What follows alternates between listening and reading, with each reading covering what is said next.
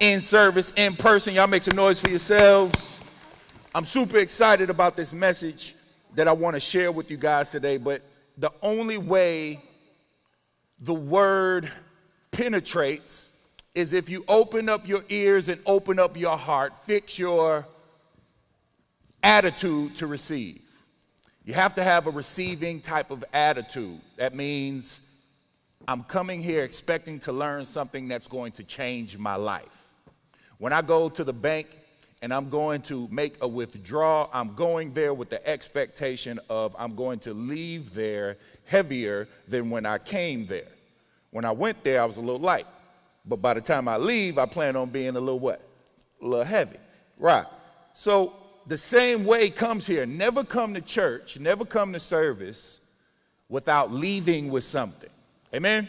Father God, I thank you, Lord God, for these your precious sheep. I thank you that revelation knowledge flows freely, uninterrupted, and unhindered by any satanic or demonic force. Think through my mind, speak through my vocal cords. None of me, all of you. I declare every heart anointed to receive and every ear anointed to hear. Holy Spirit, have your perfect will in this service today. In Jesus' name I pray. All that agree said. Today's title of my message is I Take Full Responsibility.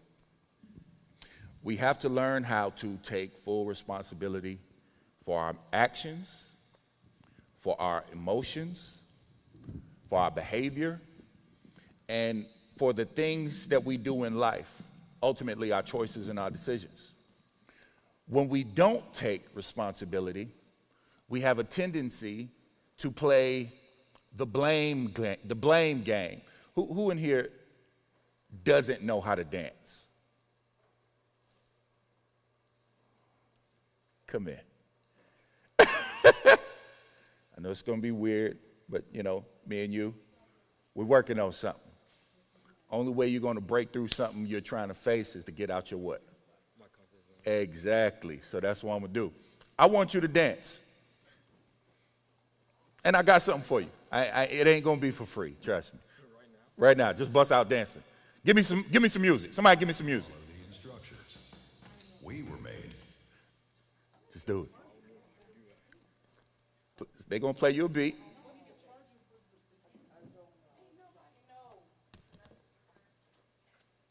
They finding the beat. There it is. I don't know what beat that is. Okay. Oh, it's okay. They got the, all right. We good? She gave me a thumbs up. So press play. There we go. Come on. Clap them up. Clap. Just do what you know how to do. I make sure your brother don't record it. Come on. Just dance. Whatever you got. Whatever you got. Whatever you got.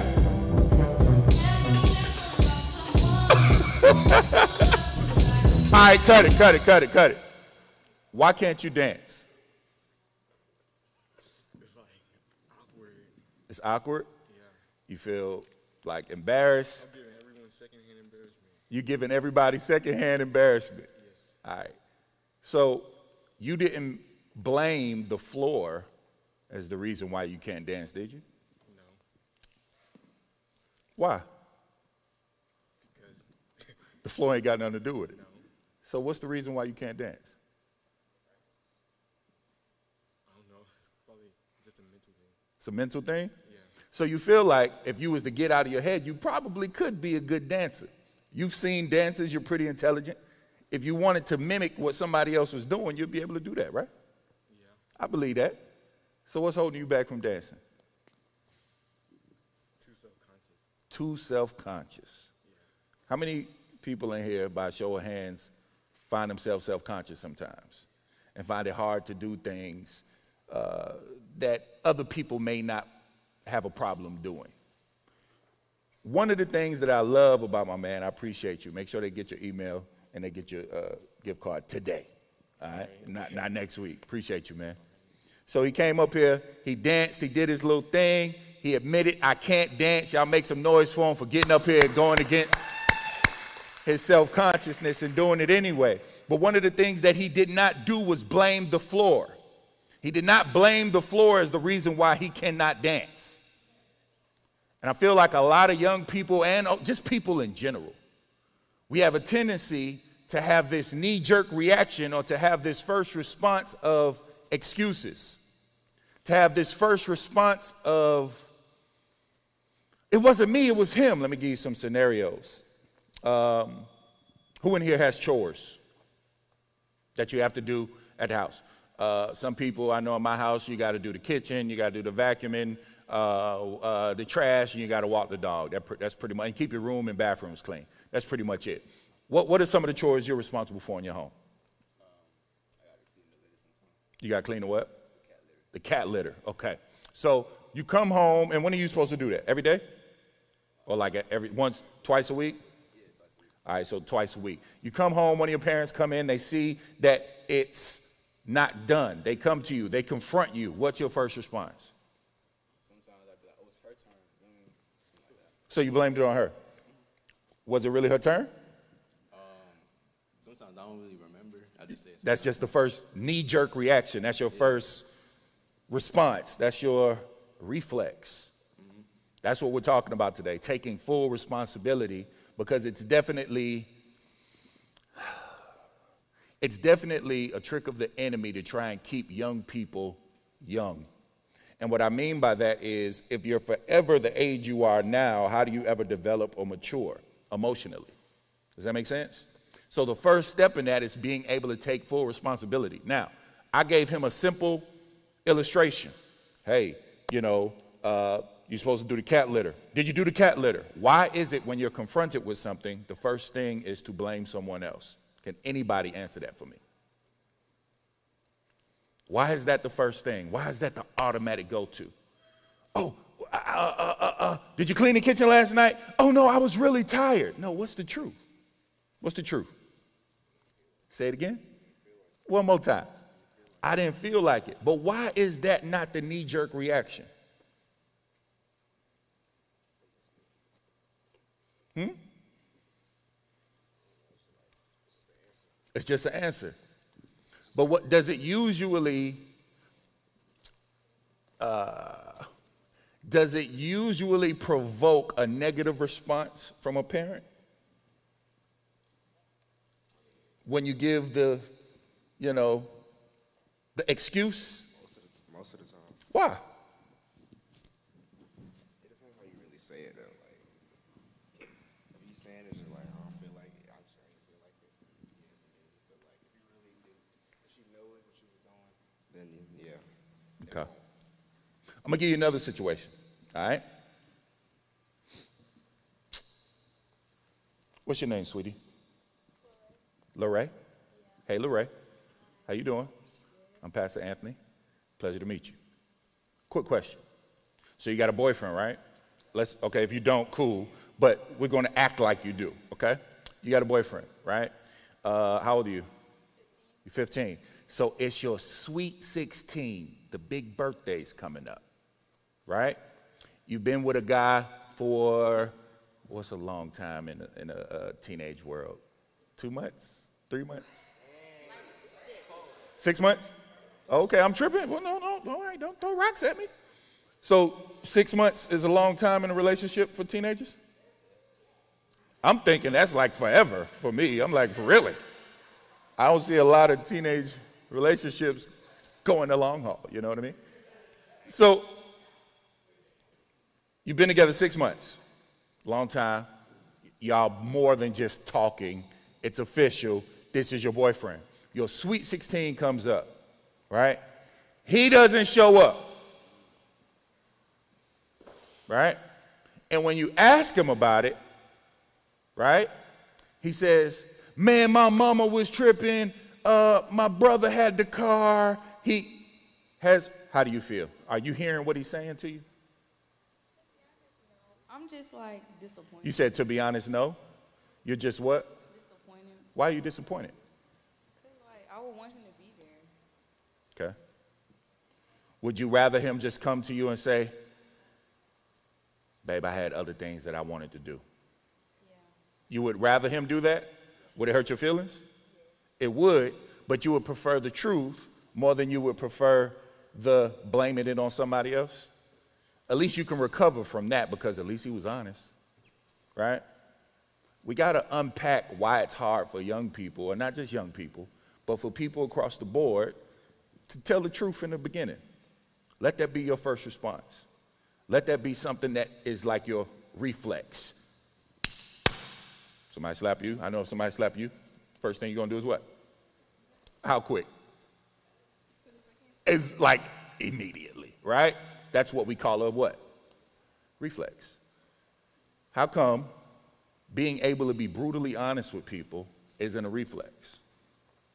How come taking full responsibility of the decisions, the choices, the emotions that we have, how come that's something that is not easy? I need somebody to be able to articulate that for me. Anybody? Go ahead. It can be like negative consequences from telling the truth. Say that again. It can be negative consequences from telling the truth. Hmm. Who agrees with that? Show of hands. It can be negative consequences for telling the truth. What are the consequences for telling a lie or blaming it on somebody else? They won't know. So like, They won't know in that moment. Old folks used to say to me back in the day, you know, everything in the dark come to the light. Ain't nothing you gonna say gonna be able to remain up under the water you try to hide it up under. It's gonna come out. Somebody gonna know the truth, baby, will set you free. If that's the case, why is it the knee-jerk reaction for young people and people across the world to automatically be fake with people? It don't sound too good when I put it that way, do it? Because if you're not real, what are you? fake. But this is the generation that says, what? Keep it real with me. Keep it 100 with me, man. Man, I don't like him, man. He fake, he fake, he fake. But as soon as you're confronted with something, the first thing that comes out of your mouth is something that's not real. Telling people you want to go places. We could go down to the small place. Why didn't you come? Why didn't you come to my party? Here's the truth. I didn't want to go. Here's what makes you feel good. Man, I really tried. Man, I overslept, man, and by the time I woke up, man, it was. How you feel if it's something you really want me to come to?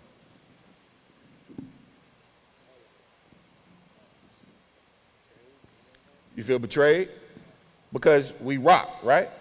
And it's like, man, I really expected you to be there, and if anybody was going to be there, I would have expected it to been you because you said you was going to be there. But if I come to you and I say, yeah, man, man, I couldn't make it. I, I ain't no excuse. I just didn't want to come. That's the truth. Would you, would you receive it? Yeah, I would, cause you just keeping it a buck with me, so I would message you for that. You would mess with me for that. But doesn't it slick kind of change your yeah. perspective of where we are? Yeah, it would, cause I was like, well, I didn't like you didn't tell me ahead of time, so like that kind of put me in a place, but still, you know, he still Okay. told me so like. Okay. Or it's, man, you know what? I thought we were here, but obviously we're not. So I respect you for telling me the truth, but I'll adjust as far as what I thought this was. Does that make sense? Why is that hard to do? Can anybody tell me? I know young people are afraid of confrontation. The Bible says confrontation brings about growth, development. We're talking about maturity. We're talking about maturing emotionally. And this is a part that the enemy really capitalizes off of when it comes to young people because you want people to keep it real with you, but your knee jerk reflex, your knee jerk reaction to things is usually fake. So then I come and I confront you, or I go, you know, hey man, man, it's, it's time to praise God. Man, do you love God? Answer me. You do. Even when you're depressed, even when you're hurt, even when you feel like he's absent, even when you feel like you can't see him and everybody just made up this imaginary figure like Santa Claus or the Easter Bunny,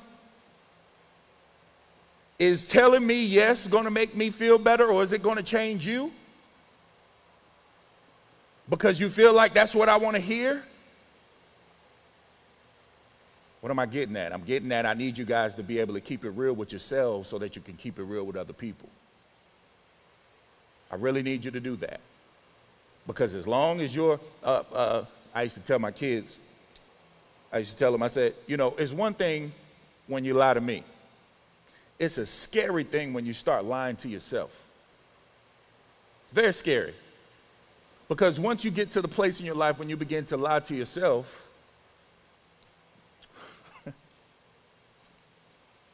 it'll be hard for you to determine what's real and what's fake, even in yourself. And young people deal with this all the time. So today, I want to share with you some scriptures. And I changed up the scenery today because one, well, I didn't know it was going to rain, but one, I wanted to be more intimate. I wanted to have more of a conversation with you guys. I wanted to kick it with you. You understand? I wanted to really get into your heads and get you guys to open up to me. Because God is real. I know God is real, but I'm talking to young people that hide, and struggle with that fact. But they struggle with that fact silently because if they feel like if they do it publicly in their families, it's the majority. Christianity is the majority in your household. Christianity is, uh, you better not say anything opposite of that because parents are coming down and they saying this and they saying that, but kids have questions. Right? That's what I want to unpack today. And I'm going to show you how taking full responsibility for your actions, for your choices, for your thoughts, for your emotions is one of the main ingredients in being set free and just truly being, as they used to say, uh, what they used to say, um, I'm free of people. you could be in people bondage and not even know it. I guarantee you the majority of the reasons why young people have this ref- reflex when it comes to, oh, I got to say what you want to hear, most of it is fear. You won't acknowledge it as that, but that's definitely what it is. It's fear. I'm afraid of your reaction. I'm afraid I'm going to hurt you. And even in that, it's noble, it's justified, it's a, you, you, you know, it's, it, it's, man, it, it, it's honorable that you're trying to preserve my feelings, but the Bible says, speak the truth and speak the truth in love. And a lot of times we run from that or we shy from that or we try to get away from that because we're afraid. Let's unpack it. Y'all ready? Y'all ready? Let's go on this journey. Let me see. How do I take responsibility for my life? Here's the answer. Now, listen to this responsibility equals accountability. Accountability equals ownership. And I know I keep saying young people, but trust me, adults go through this too. And sometimes their response to you is out of fear. Sometimes, and I'll take full ownership, as adults, will tell you what you want to hear instead of the truth, and will mask it or will cover it or will get it under the blanket of I was trying to protect you. I didn't feel like you was ready for this information. Um, I felt like if I told you this, you would handle it in a wrong way. I'm guilty of it. I've told my children things that weren't true, not to the point where it will hurt them. See, even now I'm trying to justify it. But I've told them things trying to preserve or trying to, you know, do the right thing or trying to make things right in the moment, but I wasn't telling them the truth. Okay? So adults do it too. But the answer to how do I take full responsibility of my life is one, understand that responsibility equals accountability. What is accountability? Who can tell me? What does it mean to be accountable? Anybody know?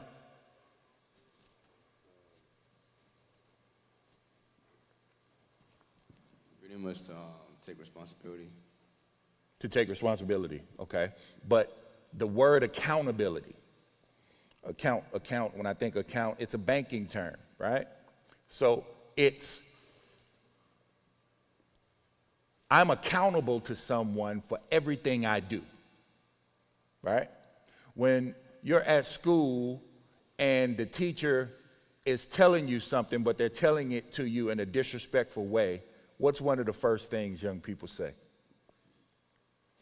You ain't my, what? You ain't my mama. You ain't my daddy. You don't talk to me that way, right? The teacher's telling you something the right way, but they're giving it to you on a trash can lid. They're giving you steak and potatoes, good food, but the presentation that they're giving it to you is on a trash can lid. But you really do need that accountability. It's just hard for you to receive it. Why? Because of the way they presented it. So, accountability is I'm going to give someone access to pull my coattail. I told my wife uh, a few months ago, I said, anytime you see me acting like this, pull my coattail because I don't want to act like that. Right? And she started doing it. And every time she started doing it, I started getting better. And I was in the moment because I'm not mindful of it, she is. She showed me what it was I was doing, and I was able to go, oh shoot, I sure, I sure am. I'm doing exactly what I, I said I didn't want to do. That's accountability. It's holding someone outside of yourself, right? That you can trust. Not everybody you can trust like that. Please don't get it twisted. These people need to be in your holies of holies, right? These people need to be very earning and uh, honorable to be able to receive your trust and your vulnerability and your transparency. Okay? Everybody shouldn't be that person. All right? So, accountability. And then accountability equals ownership. I own what I did. Okay? I didn't come to the party. I didn't come to the party because I didn't want to come to the party. Right? And when I think about what I did and how it makes you feel, man, I apologize. What is that doing? I just own my stuff.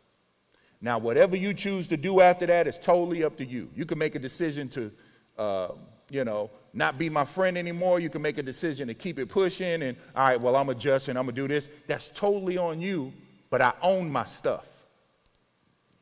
How many of you have ever been in a situation with somebody where they've constantly made excuses for the bad behavior or for the poor decision or poor choices that they've made with you instead of just owning their stuff, taking responsibility for their stuff, being accountable for their stuff.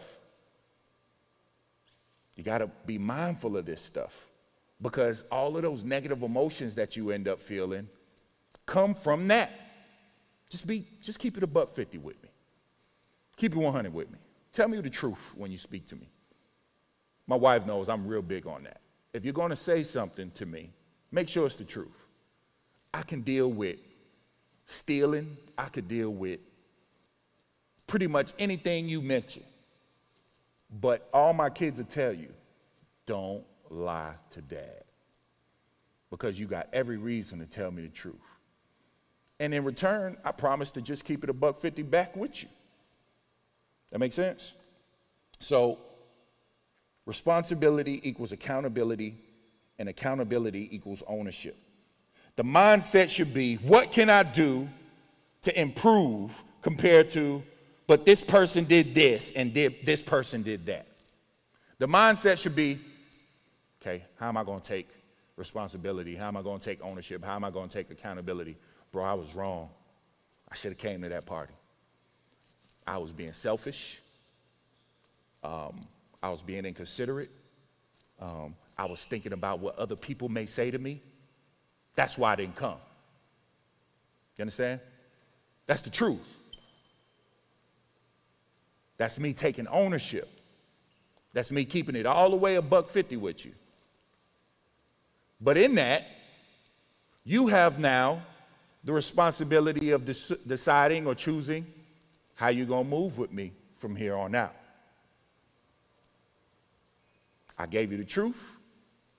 The ball is in your court now. You see how that works? I want to go to Galatians 6 5 and 10 in the New Living Translation. It says, For we are each responsible for our own conduct. Those who are taught the word of God should provide their teachers should provide for their teachers, sharing all good things with them. Right? Keep going. Don't be misled. You cannot mock the justice of God. You will always harvest what you plant. Right? Those who live only to satisfy their own sinful nature will harvest decay and death from that sinful nature. But those who live to please the Spirit will harvest everlasting life from the Spirit. Nah. So let's not get tired of doing what is good. At just the right time, we will reap a harvest of blessing if we don't give up. 10. Therefore, whenever we have the opportunity, we should do good to everyone, especially to those in the family of faith. Go back to the uh, first part of that. Five. For we are each responsible for our own conduct. I'm responsible for my conduct. What's the root word of responsibility? Huh? Response. There we go, getting back to that response, but not just any response, your first response. That's why they call them first responders, right? In the case of emergency, you call 911. 911 is also called first responders. So when it comes to your first response, your first response should be that of the truth. Keep it real with people. Own your stuff. Stop making excuses on why this didn't happen and why that didn't happen. Okay? Let's go to Genesis 3 11 through 12. Who's the first person to play the blame game? First person in history to play who? Exactly. Who told you that you were naked? The Lord God asked. Have you eaten from the tree whose fruit I commanded you not to eat? The man replied, Adam replied, It was the woman you gave me who gave me the fruit, and then I ate it. What was Adam looking for when he said that? Anybody? Nobody knows? What was he looking for? What? Wow. Relief. Okay. What else was he looking for? A way out. Come on. Y'all talking to me today. Y'all keeping it real because y'all going from your own perspective, right? What else was he looking for? I heard relief. I heard a way out. Comfort. Who? Comfort. Comfort. Wow. Mercy. Grace. I know this is a big thing. This is the first time in all of creation disobedience has taken place.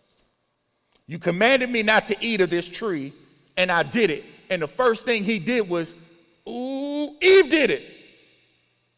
As if it was going to bring relief, a way out, comfort. No, because what remains the same is I told you not to eat of that tree. Told you to not eat of that tree. And then I told you that the day that you eat of this tree, you shall surely die. But the automatic reflex, the automatic response was Eve did it. You see where humanity gets it from? We want something pure by doing something not pure. That makes sense? I want relief to eradicate my disobedience. I want something good grace, mercy, love, a way out, relief, comfort. I want those things, and I just want you to just overlook that I made a decision to eat the fruit. I made a decision to disobey you. Now, I don't believe things would have changed had Adam just owned and accepted responsibility. But there's other instances in the Bible, and we talked about we talked about Judas a little bit uh, a few weeks ago and different things like that, and just taking ownership of the things that you did. But in the garden, taking ownership would have looked like. Pull the scripture back up. Genesis 6 5. Who told you that you were naked? Now, let's, no, it's Genesis uh, 6, 5, and 10. He said, Who told you that we're naked? Now, let me give you a little backstory. They didn't realize they were naked until what? Huh? Until they ate the fruit. We don't know if it was an apple, right? They didn't know. As far as they were concerned, they were just walking. There was no such thing as good and evil. There was no such thing as shame. There was no such thing as body shaming or body insecurity.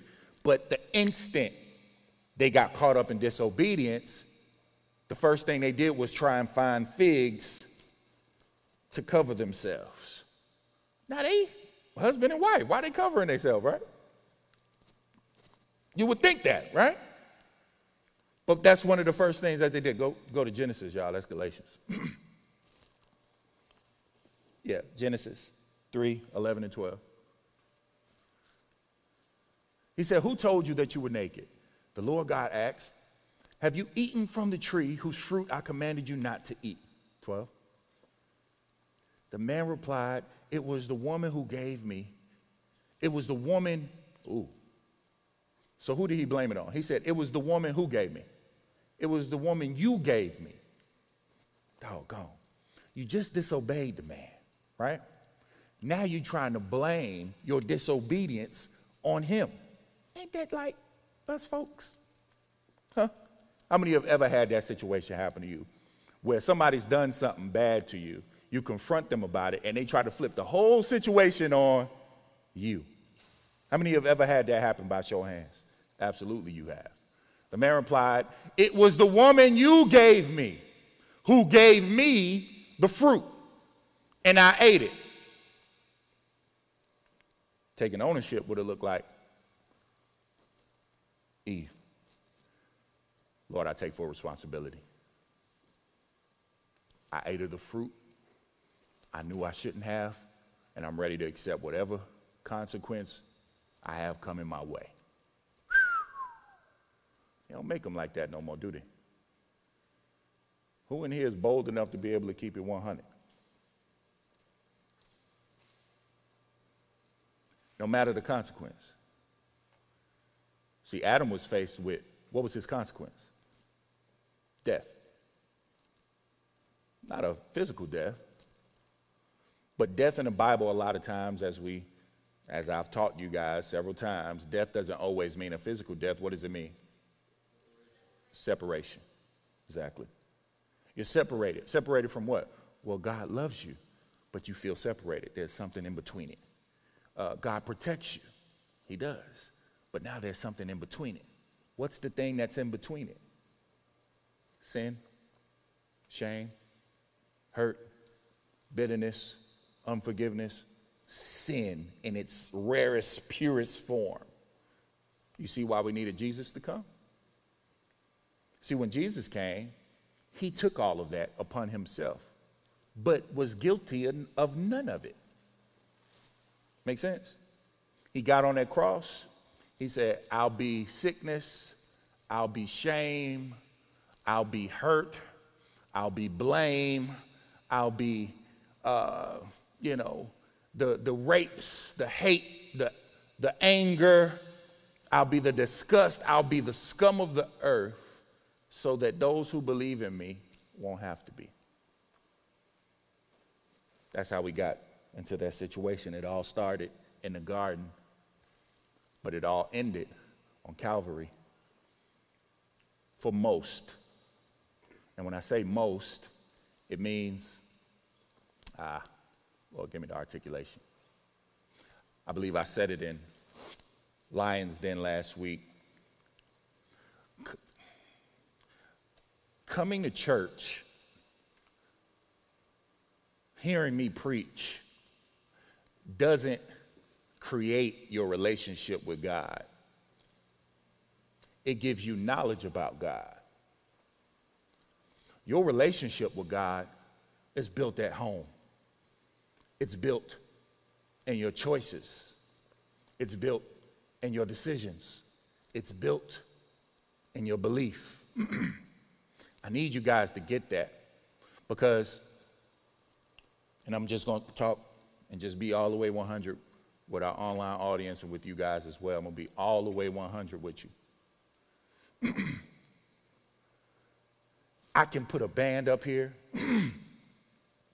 hire some singers to come up here, or we ain't got to hire no singers, get the singers up here, right? Play with your emotions, or not really play with your emotions, but I can, you know, I know how to set an atmosphere, right? And all of a sudden, hands are lifted, people on their knees, they crying, right? And they leave out the door the same way they came into the door. But the only difference is they cried and they got highly emotional. Right? The anointing, the power of God, the acid test to the anointing is change. I came in angry, I left in peace. I came in addicted, I left free. All of those pluses, the freedom, the, the freedom, the uh, no more addiction, and uh, all that stuff, all that is a choice that's left up to you guys. You have to do that. Otherwise, this becomes one of those things where it's constantly a, a show Man, we got the lights, we got the camera, we got the action, we got all of this stuff. And I cried in service today. Woo! Power of God moved. How do you know the power of God moved? Because I cried and, you know, I don't know. I, I, now, crying equates to the power of God moving. And young people get confused because you can have tears of joy, right? And you can have tears of true what? Sadness. I'm crying because I'm emotionally hurt. I'm crying because somebody did something bad to me, and all of these different things. Pastor Ant, what does this have to do with responsibility? You guys have to take responsibility for your relationship with Jesus Christ. My job is to teach you, build you up, edify you, which means to build up, right? That's my job, to make sure that I can articulate the Word of God to you in a way that you can understand it and in a way that you can execute it once you leave here. But the believing part is not something I can do for you. That's something you're going to have to do when you leave here. I can pray for you. I can even lay hands on you, right? But if your belief isn't there, it's null and void. It's not that God's power doesn't work. You got to get to the point where you understand God is real for you. I've never tried to force my beliefs on my children. I did make sure that they were raised up in the church. But once you guys graduate high school, well, not just once you graduate high school, once you guys leave the comforts of your home and you get into this world and you start experiencing this thing we call life, it ain't easy. I'm not saying that to instill fear. I'm saying that because it's the truth. It's not easy to all, but especially to those who don't know which way they're going or coming. You got to get to a point where you start understanding I need Jesus. And I'm going to seek him, whether I'm at church, whether I'm at school, whether I'm on a bus. I'm not going to conform to this group or that group. I'm going to take ownership I'm going to take responsibility. I'm going to take accountability for not only me and my thoughts and my emotions, but ultimately, I'm going to take responsibility for my relationship with God. What's the root word in responsibility? My response. How are you responding to Him? What's your response when He says go and the go doesn't match what you want to do? What's your response? How do you move? He says, stop. But if you keep going, it's everything I've been looking for is right there. Everything I've been looking for is right there. He's saying, stop. Now that's now we're getting into something. That's the power of God walking. When you obey.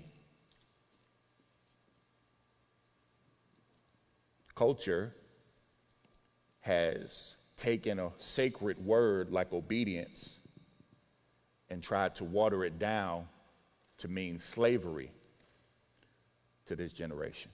Am I wrong? Culture is doing that.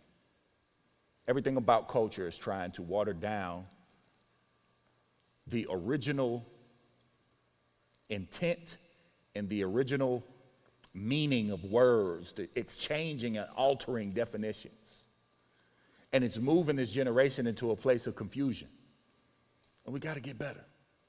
You got to be able to know the real and know the difference between the real and the fake. Because if you don't, you begin falling for all these impersonators, right? I used to use this example all the time. If an impersonating 2 Chainz came out here, most of y'all wouldn't be able to tell whether it's the real 2 Chainz or not. But you'd rock with it because it's like, oh shoot, 2 Chainz, well maybe not 2 Chainz, he's old. Who? Uh, Lil Baby, right? If I brought Lil Baby in here, and this dude looks exactly like Lil Baby, sound like Lil Baby, got the hair, got everything, got the jewelry all over this fake, and he comes out here, you guys would think, oh shoot, Lil Baby was in service until the real Lil Baby came, right? In order for you to be able to identify the fake, you have to constantly have the real in front of you. It's easy to identify fake when it's right next to the real. What's the real, Pastor Ant? The Word of God. It's the real. I can't make you believe that. I know from personal experience. I know from cracking my head several times. It was my downfalls that taught me God is real. Everything that I've been trying to prevent young people from having to go down. I don't want people to go down the same path I had to go down. Are you serious? You wouldn't be able to fathom it. And I tell you guys the nice version, the PG 13 version of my story. But I know without a shadow of a doubt, Jesus Christ is real. I talk to him, I walk with him, I know his voice. I don't get his voice confused with thoughts. I used to, all the time. I was young. And the more and more I got it confused, the more and more I ran. I ran from him. I really did. I'm talking about, I was like, uh, what's the song? He's a runner, he's a track star. I was gone. You hear me? I'm trying everything in my power to stay away from the call of God on my life. Didn't even want to acknowledge there was such thing as a call. And in that, I don't know, man, it was goodness and mercy that just kept following me. And when I slowed down a little bit, it began to run me over to the point where I stopped and I just let it happen. I don't want you guys to be in your mid to late 20s before that happens with you. That's not my responsibility. That's totally your responsibility and how you respond to the call that He puts on your life. But I need you guys to be mindful that you have to take responsibility for your relationship with God. That's not on me. What's on me is to make sure I educate you on the things of God. But that burden removing, yoke destroying power that you want to experience, you can experience right now in this moment if you like to. But there's something there. There's something there that, that coincides with that knee jerk reaction Where on the outside, it's keep it real with me, keep it real with me. But when confrontation comes, the knee jerk reaction is, I'm gonna be fake with you. I'm gonna be fake with you. I'm not going to tell you the truth. I'm gonna tell you what you want to hear because th- that's what I feel like I should do. When the Bible don't say do that, the Bible says tell the truth in love. Tell people the truth. Keep it 100 with people. Why didn't you come to my party? I didn't want to go. There's a lot of things connected to you, and I didn't want to be associated with those things connected to you at your party. I didn't want to go. That's the truth. Instead of, man, I really wanted to get there, I really wanted to make it, I really want, don't do that. Because in your mind, it's not that big of a deal. No, it is that big of a deal. You're practicing not taking ownership, you're practicing not taking responsibility, you're practicing uh, uh, not taking accountability of your decisions and your actions and your choices. Does that make sense? Clap one time if that makes sense. All right, let's move on. Because I got 15 minutes left and I want to make sure I get these things to you. the biggest thing in that fake reaction is found in this scripture 2 Timothy 1 and 7. For God has not given us a spirit of fear and timidity. Who knows what timidity is? Anybody? Vulnerable. Exactly. Exactly. How'd you know that? Because the root word in timidity is what? My God. Yeah, it's a smart bunch. For God has not given us a spirit of fear and timidity, but of what? Power. And what? Love. And what? Self discipline. Self discipline is I'm going to discipline myself to be able to tell you the truth. I'm going to discipline myself to be able to, you know, I want to, I, you know, you do sports. So a lot of times when you're playing sports, the coaches require you to be at school super early before school starts, right? Who experiences that? By show of hands. Boom, boom, boom, boom, boom. What time you gotta be at the school? 5:30 a.m., 6 o'clock a.m. in the morning, and then go to school, and then you got practice after school too? It's practice in the morning, not practice at night? Oh man, y'all different. Because East Coweta, you got to do it in the morning, you got to do it at night. Shane wasn't getting home to like 10 o'clock at night. He would leave at like 6 o'clock in the morning, 5.30 in the morning. Man, they had it good. Wish you guys could have won state. Sandy Creek won. Anyway,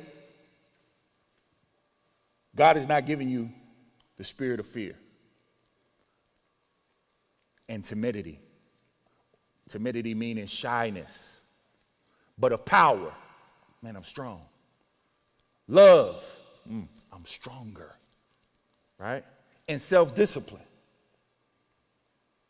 I got five ways that you can learn to take responsibility. Number one, write this down. We'll put it in your notes. Start noticing your blaming tendencies. Start noticing your blaming tendencies. When do I have a tendency to blame people for things that I really should take ownership of? When do I do, who told you you were naked? Did you eat of the tree? It was the wife you gave me. Blame. Notice your blaming tendencies. When do I have a tendency or a knee jerk reaction to blame someone for something that I did? So start noticing your blaming tendencies. What is the role that I played in this? When you ask yourself that or when you do it, it helps you locate the tendency. Sometimes this response is like our first response, or better yet, a reaction for most young people. Change the statement from, I can't do this, to, how can I do this? I can't tell you the truth in this moment. No, change that. How can I tell this person the truth? Sometimes it just takes a 30 second pause before you respond. Just pause.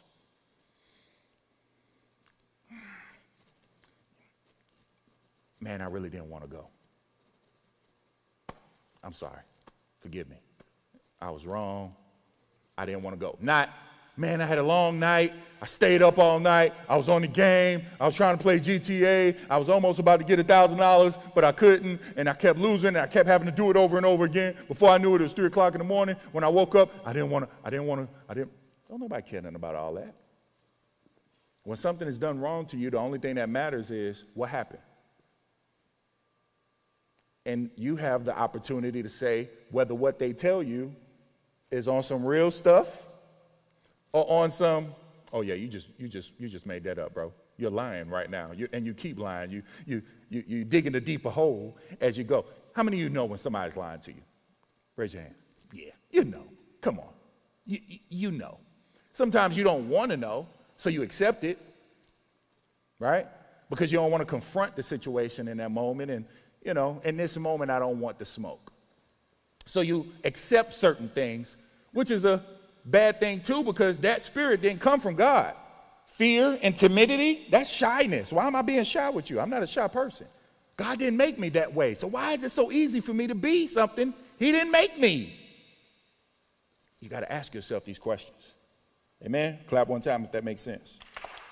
Number two, so the first one is start noticing blaming tendencies. Number two, practice your power of choice. How many of you, and I do this all the time, how many of you have said yes to something you really didn't want to do? Raise your hand. Everybody in here, right? Practice the power of choice. Before you even say yes to something that the later you is not going to agree with that yes with, just say, I'll let you know. I tell you what, or uh, Dr. Dollar called this an honest lie. I'll try. No, you ain't. You know, dog, oh well, you ain't gonna try and come or try and do this or try and do that. All right? Practice your power of choice. You have the power. Choice and decision making is a power because on the other side of that is now your new reality. On every on the other side of every decision you make is a new reality. Think of it that way before you start saying yes and no to different things that, you know, sometimes people want you to go to, sometimes people want you to do for them, sometimes people uh, uh, re- uh, request from you certain requests that people have from you. How many of you have, been, have ever been guilty of being a yes man? Somebody say, hey, can you do this for me? Yeah, I can do it. Hey, yeah, yeah, yeah, can you do this for me? Yeah, I can do it. Hey, can you do this for me? Yeah, I can do it. And before you know it, you got all these obligations to people of something you never really want to do in the first place. But the power of choice says, nah, I don't have time. It doesn't match my schedule. Uh uh-uh. uh. Get somebody else to do it. Uh uh-uh. uh. I don't want to do that with you. Mm mm. Mm mm. I, I, mm-mm. I just, I can't. The later you loves that because it's like, man, we get to chill, we get to kick it, we get to kick our feet up and do what we want to do. Why? Because we said no to something that we really didn't want to do in the first place. That's power. That's power. And you know what? It teaches people how to move with you. Think about it. Hey, hey, hey, I really want you to come to this thing and I really want you to do this. Hey, hey, man, man, if you could help me out, man, if you think you could come by and help me do my yard, what? I'm not coming over your house to help you do the yard. But there's a piece of you that goes, man, this is a new friend. I'm really trying to show him I'm a good guy. I'm really trying to show him, man, you don't want to do that. Keep it, keep it a buck 50 with him. Nah, Brian ain't gonna be able to do that, but you know, if it was a different day, maybe, but nah. People learn to respect you more when you keep it 100 with them. Stop this first response fakeness. Stop it. God ain't create you to be that way. For God has not given us the spirit of fear and timidity, but of power, love, and self discipline. Now, that doesn't mean every time you won't be able to help them. Sometimes you may be like, you know what? Hmm, let me think. Give yourself enough opportunity to think about if it's something you want to do and then respond. Don't just reflex. I'm going to tell you, as a youth pastor, I'm going to tell you, man, I want to make everybody happy. Growth and development says I can't. I can't show up for everybody. But then, well, you showed up for this person, but how come you didn't show up for this person? I can't show up for everybody. But what I, who I can show up for, I will. So does it mean that you like this person more? No, it, it don't mean that. Well, what does it mean, Pastor Ant? Brutally honest? Can we have a brutally honest moment? Man, I got I got kids of my own. I got a wife of my own. I got a whole situation at home I got going on, and I got to be there for them too. I would love to be there for you in this moment. I just can't. But you got parents.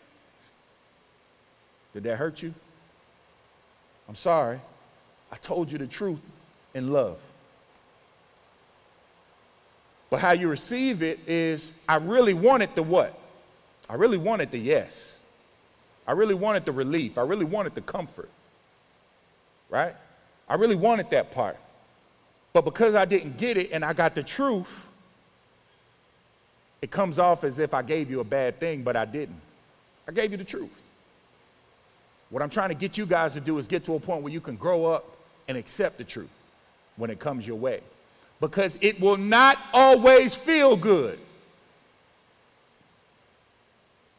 It will not always look good.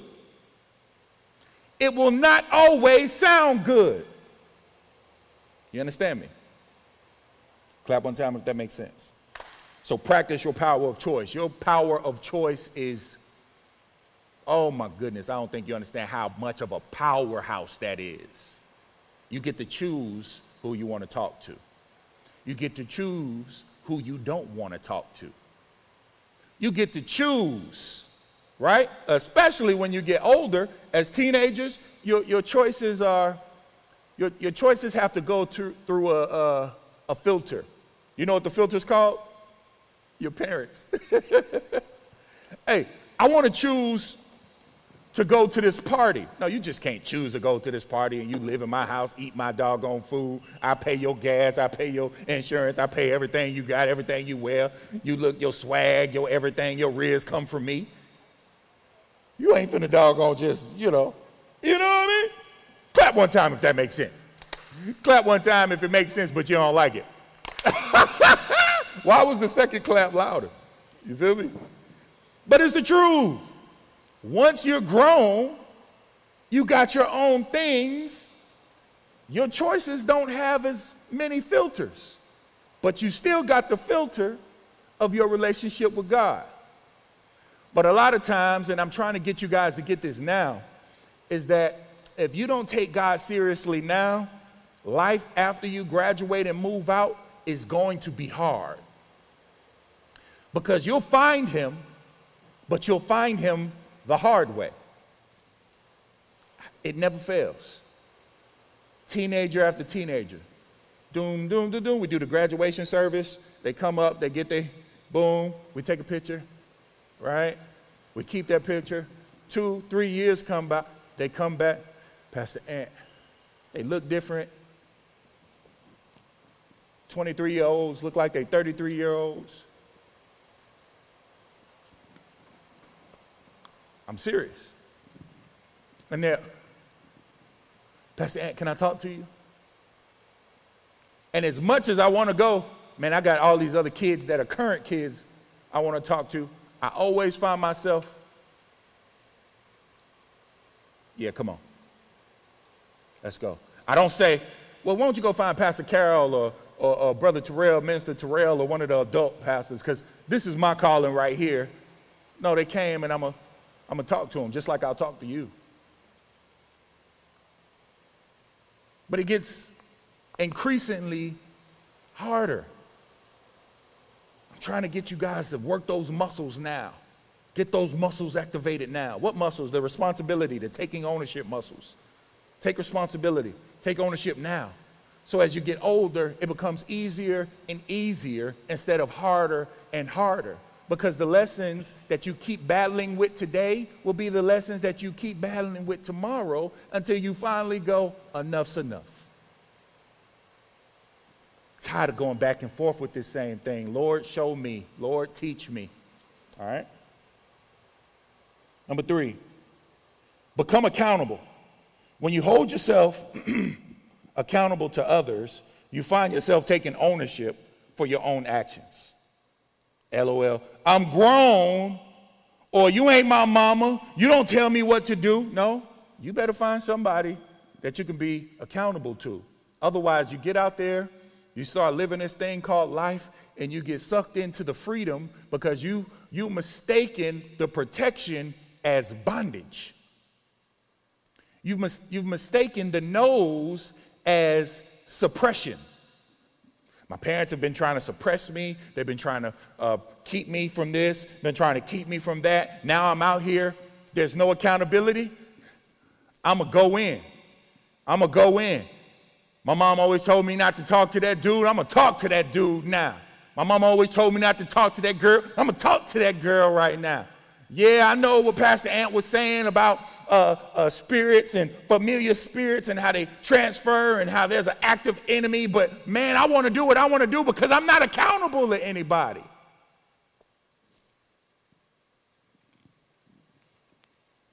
You usually see those people, they find God, but when they find Him, they're so broken. And I guess, in a way, it's a good thing. I don't feel like you have to go through that. I do feel like you have to go through things. But life altering, God will use those things for His good. He will. He doesn't bring those things to you. But I've seen some things. I've seen young people go out there just being promiscuous and free. And they come back, Pastor Ant, I'm messed up. What's going on? And it takes hours and hours and hours for them to say, I contracted HIV. And I can't, I, I, I, I, I can't accept that. So, so I remember what you said. By his stripes we are healed, right? Right? Yeah. But I don't feel like young people should have to go through all, you got to go through all that to know God is real. There's folks out here dying left and right. Folks out here getting murdered left and right. This country right now is in a place that it has, hasn't been in in over 60, 70 years. I don't even think you guys have a clue on what's going on right now in the world, do you? It's just another day. You're going to go home, you're going to play GTA, you're going to watch some Netflix. It's a lot going on out here. What was once made to be, oh man, yeah, man, I got to make sure I get me a mirror shirt. I got to make sure I get, you know what I'm saying? I got to get my hair done. I got to get my, got to get my shoe right. I got to get. You're about to see how meaningless all that stuff is. Be accountable. Clap one time if that makes sense. Number four, try discomfort. Success does not come in your comfort zone. You hear me? Greatness does not come in your comfort zone. Try discomfort. Blaming different people and circumstances, you'll never come out of your comfort zone. While comfort zones feel safe, change never happens in the comfort zone. It never happens. I'm comfortable here. I'm, I'm, I'm safe here. I'll just, I'll just keep doing what I normally do. I'll stay out the way and, and, and I'll make sure that, that uh, you know, okay, uh, he wants smoke. I'm going to stay away from that guy because I don't want smoke. Uh, uh, he wants confrontation. I'm going to stay away from that guy because I don't want confrontation. Um, um, I'm afraid to speak. I'm going to make sure that I keep myself in a position where I never have to speak to people. No, if you're afraid to speak, step up to the mic. How else will you beat it? You got to learn how to send certain things that come your way back to its sender. God is not giving you the spirit of fear or timidity. So if you're feeling timid, step up to it. And don't flinch. I come from a generation where it was all about the standoff. Some of you need to learn how to face your opponents squared up and you don't blink. You don't flinch. Where he go, you go. Where it go, you go. You following it. And you wish it would. A lot that's not people all the time. We keep trying to blame people. It's not people. Sometimes it's emotional issues within yourself that you're fighting. But it comes out as an attack towards other people because you don't know how to articulate what it is you're going through. Does that make sense? Get yourself to a place where it's like, Lord, I trust you. I trust that you've not given me the spirit of fear. I trust that you've given me the spirit of power, of love, and of a sound mind. I have a sound mind. I have self discipline. I have enough self discipline to be able to tell people the truth. I have enough self discipline to be able to stand on the edge of that plane. How many of you have ever seen people go skydiving? Uh, Pastor Alyssa, she went skydiving. One of the craziest things I've ever seen her do. Uh, the second most craziest thing I've seen her do was get on the slingshot with DJ, right? She got on the slingshot with DJ. DJ was, oh my God, oh my God, oh my God. Alyssa was like this. Yeah, that's what's up. Why? Because she's practiced facing her opponents since she was younger. Did y'all know Alyssa was in the army? Did any of you know that? She, was a soldier. She still is a soldier. When you see her preach, she preach like a soldier. Little old lady, this big, firecracker. If I'm going to war, she's definitely with me. You wouldn't have somebody bigger? No, see, you keep looking at the outside appearance. It's not the outside appearance, it's what's on the inside of that person. What happens when the squeeze comes? When I squeeze you, what comes out? Will it be fear and timidity? Or will it be confidence, trust, reliance in God, total dependence on God? Face your opponents squared up and don't blink. What's your opponent? Fear. What's your opponent? Self doubt. What's your opponent? Insecurity. What's your opponent? Confusion. You see, some of you, you think things are this way because society, social media has shaped and molded your perspective. Likes, views, follows have shaped and molded your perspective. So some of you equate your value to the views, the likes, the follows. Where they do that at? Your royalty. Your sons and daughters are the Most High God. Does that make sense? Clap one time if that makes sense. All right, what was that? Number four? So try discomfort. Get out of your comfort zone. Stop trying to be so comfortable all the doggone time. Growth doesn't take place in your comfort zone. I'm just going to play, uh, I'm, I'm just going to play video games. I'm just going to play basketball on 2K. I don't want to do it in real life because in real life, I'm going to look doofy and I don't want people to laugh at me. what? What are you talking about? Get your butt out there and learn how to play basketball. but I'm in 11th grade what was the dude? Uh, uh, uh, the, the, dude that is real good with fundamentals, old school player, uh, Tim Duncan. Tim Duncan ain't started playing, but and Dennis Rodman. Dennis Rodman and Tim Duncan ain't started playing basketball until like the 12th grade. Dominant in the game. It's never too late, but do it. Face your opposition. Face these hard things. Here's the last one, and I'll close. Stop making excuses. All of these things that I'm giving you are ways that you can learn and take responsibility. These are the steps that you take to learn how to take responsibility ownership, accountability. Stop making excuses. You know why your parents get so upset when you make excuses? Because, and I've been telling my kids this since they were younger. When you give someone an excuse, it says to that person that you plan on doing the same thing again. Think about what I just said. And then think about every time somebody somebody's giving you an excuse or you've given someone else an excuse about something. What's going on in school, man? Man, the teachers. Man, the the man, it's the teachers. Man, it's the kids in my class. Man, I don't understand. The teacher, that's the one I used to always hear. The teacher got a strong uh, accent, and I don't be understanding what he be saying. So everybody in the class is failing? Instead of taking ownership,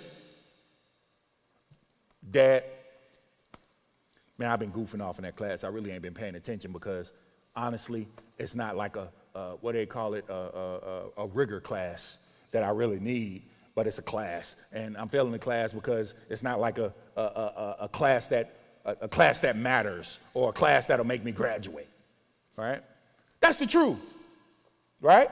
I'm probably still gonna say, I don't care what the class is, you get your butt in there, you do what you need to do. But that's me holding you accountable because if you're practicing taking the shortcuts in school, then you'll take the shortcuts in life. This ain't about school. Your parents, my job is to prepare you to leave. The whole process, everything that you're going through right now is because one day you won't be under our supervision. And I know that you're grown. I tell my kids this I know that you're grown when you're able to say to yourself what I say to you without me having to say it to you. That's when I know growth has taken place. When you're able to hold yourself accountable and do these things. Does that, does that make sense? Clap one time if that makes sense. Listen, I really need you guys to start owning your relationship with God and start taking it more serious. This world, you know what? I'm going to be more specific. The United States of America and everything, not just in the United States, but in other countries, things are about to change drastically. Your swag won't matter. Your style won't matter. We're getting to a place where the only thing that matters is your belief and your comfortability in your belief, or not your comfortability, but your confidence in your belief. I use the example all the time. None of you checked the legs of your chairs before you sat down. You simply just sat in your chairs. Well, I need your belief in Jesus Christ to be the same way. Lord, I just trust you. I trust you. I trust your word. I trust your voice. I honor your voice to the point where I know it. And a stranger's voice I will not follow. Get to that place. Pastor Ant, how do I do that? Coming here, I educate you. What do you do with education? Hmm? You what? You apply it. That's when it begins to happen. I can stand here and boldly say, I will not give you false information. The information that I give you is not only biblical, but it's tried and true. I practice it myself. If I hadn't practiced it, I'm not going to speak on it. It works. He works. He's real. He matters. But there's a great distraction for our young people. It's not that you're bad people, you're distracted. You're distracted by culture, you're, distracted by what other everybody else got going on. And it's time for you to focus. Focus on what? It's not focus on what. It's focus on who. Focus on him so that you can know you and know your call and your purpose here on this earth. What part do you play? When it seems like everything around you is in turmoil? What part do you play? You talk about peace that passes all understanding? in these upcoming months, there's going to be a lot of things that try to instill fear in you. But if your knee jerk reaction could be, God has not given me the spirit of fear, but of power, love, and of a sound mind. See, it starts off you just saying it, declaring it, decreeing it. Every time the, the, the, the, the temptation to get into fear comes in, to get into timidity comes in, to get into panic comes in. God has not given me the spirit of fear, but of power, love, and of a sound mind. These are the things that I'm saying to my son, who currently right now is in the Navy in San Diego. While all of these things with this country is going on, I speak life into him. Because I understand he's a kid still who's in an adult environment where he's having to remember, recall, and stand on every lesson, whether he was listening or not. Ooh. That sounds scary to some. But not when you know who you are in Jesus Christ. My demeanor, my demeanor, my posture, my stance comes from my faith in God. Just like it should come for you. Has it always been easy? Heck no. To this day, sometimes it gets hard. But God has made each and every one of us to be resilient. He said, In this world, you will have trials, you will have tribulations, but be of good cheer. For I, He, has overcome the world. Lord, I trust you. Why do you trust God so much? Because if I trust me, I'm doomed. Anthony by himself, Anthony in and in and of himself? No. I'm gonna say, man, get the guns, man. We gotta go. Bunker down.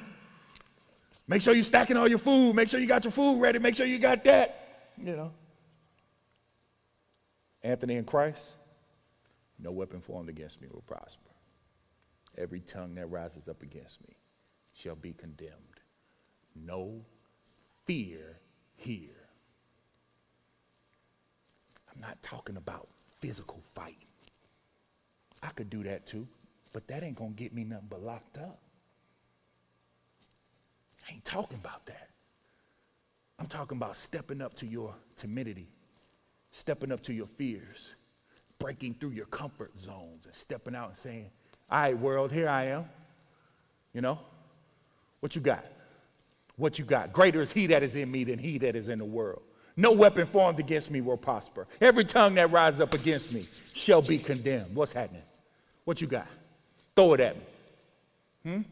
Are you trying to throw porn this way? Nah, I'm good on that. I'm good on that. Overcame that when I was 13. What else you got? Anger and unforgiveness? You trying to throw? Nah, I'm good on that, homie. What else you got, bro? What else you got?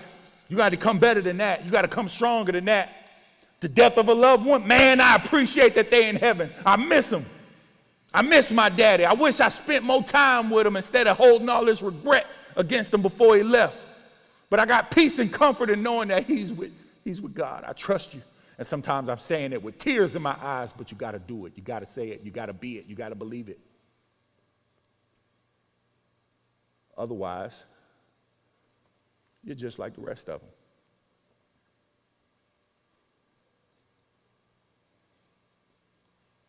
Hard to be real when you're surrounded by fake. But the fake can only get a glimpse of the real when you choose to be it. You hear me? Sometimes the only Bible people to read will be you. Are you picking up what I'm putting down? Are you digging what I'm saying to you? Life ain't no game. This ain't no joke out here, man. It's not. Stuff happening every day. The Bible says the enemy goes around like a lion seeking who he can destroy. which means he can't see everybody. But if he's going around like a lion, if you're thinking about a lion, it's usually the timid and fearful gazelle that gets ate up. God ain't gave me the spirit of fear. So I won't look, smell, act, or even taste like fear.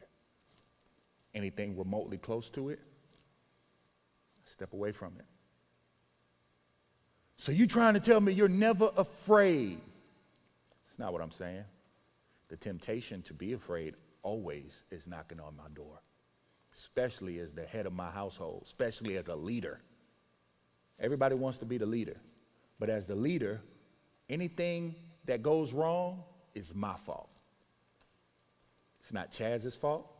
It's not Constance's fault. It's not Alyssa's fault. It's not Aaronics' fault. It's my fault. You understand? I'm not blaming security. I'm not blaming no. It's that's on me. That type of pressure, you don't think fear tries to come up on me? How do I get rid of it? I don't want nothing that come from Satan. So I'm going to return that to its sender.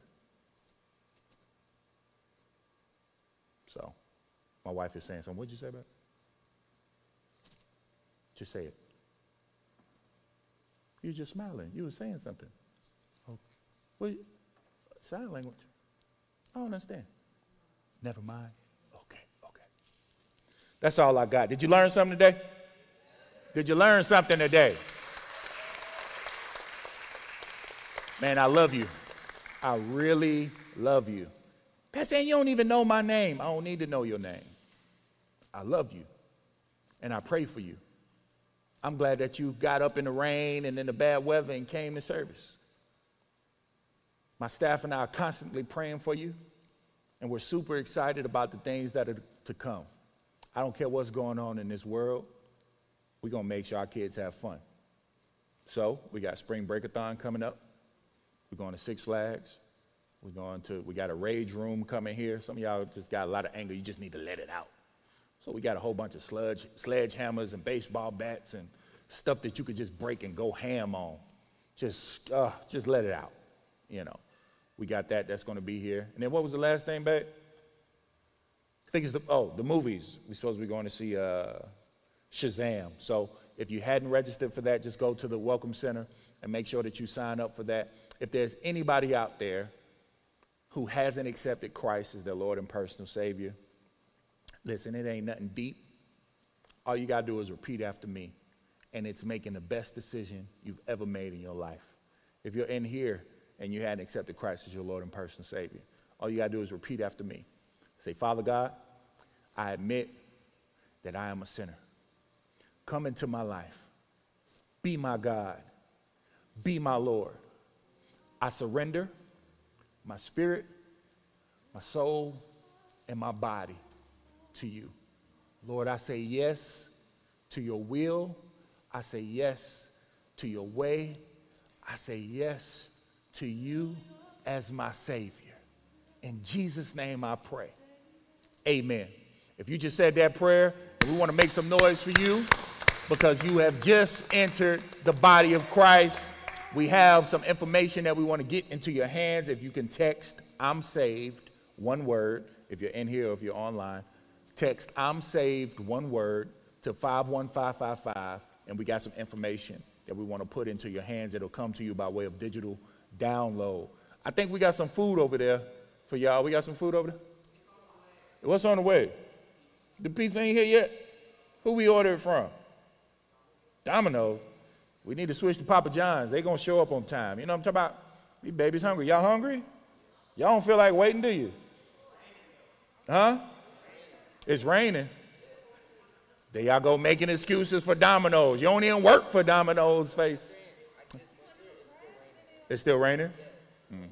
Yeah, it don't matter. Rain, sleet, or snow, like the post office. You feel me? We hungry. So now we got offering. Is somebody coming up? Who's coming up? Come on up, baby. Love you guys. Hello, WCYU. My name is Fazwa. Um, before we get into offering, I just want to congratulate everyone who just received Jesus as their Lord and Beautiful souls of the universe, this is Glory. I am back